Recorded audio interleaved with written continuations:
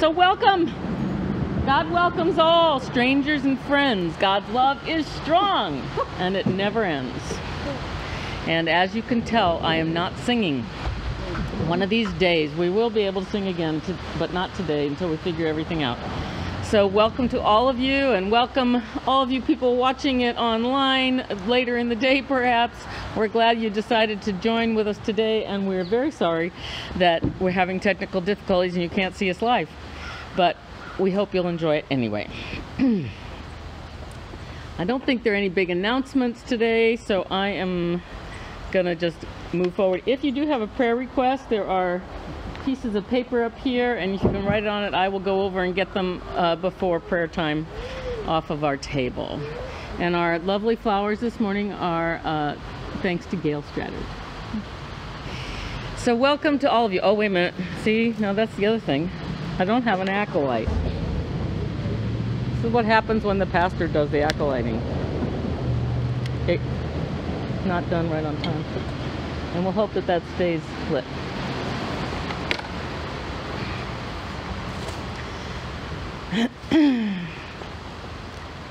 we keep Sabbath during this strange season of the coronavirus in uncomfortable new ways. In masks or by digital devices, without handshakes or hugs. But the church, with the big C, has survived wars and pandemics financial crisis, and civil unrest, relying on the promise that who, wherever two or more are gathered in the name of Christ, there the Spirit of Christ will be found. And we extend that now to include those gathering with us virtually. It's times like these the Spirit is most needed. The work's not done. God's reign has not yet come. So let's gather in the name of Jesus. Let's proclaim it from our pulpits, whisper it into our masks, sing it in front of our computers, and know that all over the world, the Spirit of God is molding us, shaping us, recreating us into the body of Christ. Let us pray. Lord our God, where is there another God like you? A God of justice and unfailing love, who stands by every promise made to her people, generation after generation. There is no other. You alone are God. And so we gather together to worship you to give you thanks, to proclaim your greatness, to speak your praise, to seek your face, and to celebrate your faithful presence with us. We pray that your Spirit would guide and inspire our worship. Open our lips to mouth your praise. Open our ears to hear your word. Open our eyes to see you at work among us Open our hearts to receive your love. Let us offer ourselves to you, reflecting your grace and mercy always. Amen. And now I'm going to invite Sandra to come up and help me with a time for all ages. And just so you know, we live in the same household, so it's okay that she's standing closer than six feet to me. So today we're going to tell you the story of, uh, you've probably heard it before. Is that right side up? Yeah. That's right side up, okay.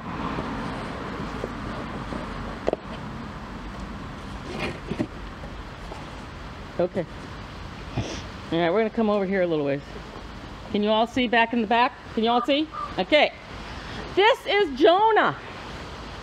God went to Jonah and said, Jonah, I want you to go to the city of Nineveh and tell them that they need to stop being bad. They need to stop being evil and wicked. And Jonah said, uh, No way, God, I'm not going. I don't want to go there. I don't want to go there. That's a really awful place. I don't want to go. And Jonah said no to Nineveh, and he went down to a seaport, and he got on a boat because he was going to run away from God.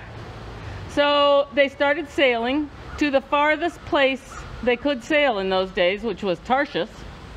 And uh, then it started getting kind of windy and stormy. Oh, oh, oh. And, and oh, wow, what was happening? It was like, oh, the waves were getting really high and the wind was really fierce and it was awful. And, and the crew on the boat, they said, what is going on? Where's the crew? Okay, what is going on? They were throwing up. they were they were all feeling like, "Oh my gosh, I'm really scared. What's happening?" And Jonah says, "Well, I'm afraid it's my fault because I ran away from God. And and you better throw me overboard. And then God will be okay and it'll be calm again." Ah. No. Oh, we don't want to do that. No, you don't want to do that. Okay. They didn't want to do that. They didn't want to throw. So the wind just got worse and worse. And it, oh my gosh, it was a terrible. Okay, But they then changed they their mind. they changed their mind and they threw Jonah overboard. And so Jonah was in the ocean going down, down, down, down, down. Not ocean, Mediterranean Sea. Down, down, down. But it is salt water, I'm pretty sure. And and then this came this big fish, which kind of looks like a whale. And it swallowed Jonah. Oh my goodness. Jonah was swallowed by the whale. And he was in the belly of the whale for three days and three nights. And it was dark and it was icky. Can you imagine what the belly of a whale looks like? Yeah, it was icky. So after three days and three nights, Jonah prayed to God and said, Okay, God, I'm sorry. I'm sorry, God. And the whale, the fish, spit him up on dry land. And he happened to be very close to Nineveh. so he said, All right, God, I'm going to Nineveh. I'm going to Nineveh. And when he arrived in Nineveh, he told them all that they needed to repent and stop being bad and that God would forgive them if they did. And if they didn't, then God was going to destroy them. That's what jo- Jonah was told to say. So he went, and as soon as he got in the city, everyone in the city started changing. They said, okay, we won't be bad anymore. As soon as he started telling them what God had said, we won't be bad anymore, we'll change, we'll be good people. And they all repented. And then God didn't destroy them. And Jonah was ticked off. Sorry, Jonah. Yeah. Jonah was mad because God was nice and had mercy on the people of Nineveh. So Jonah went outside of Nineveh and pouted on a hill. And then God grew up, grew this big, wonderful viney tree thing to shade Jonah, Jonah from the hot sun. And uh, and overnight, a worm came. No, not the sun yet. Okay. Overnight, the worm came. A worm came and ate the tree. And Jonah got mad again. He said, "What happened to my tree? There was nice shade, and now there's none. And now this hot sun is shining on." so God said, Why are you upset? You didn't do anything to bring the tree. You didn't nurture it. You didn't you didn't do anything to take care of it. I did all of that. So why should you be upset? He said, I don't know, but I'm mad. and I'm gonna pout about it.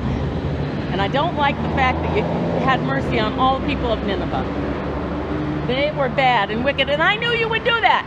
I knew you would have mercy, and that's why I didn't want to go. And God said, Who are you to tell me who I should have mercy on? Are you envious because I am generous with my mercy? All those people, they're saved. And Jonah just sat there.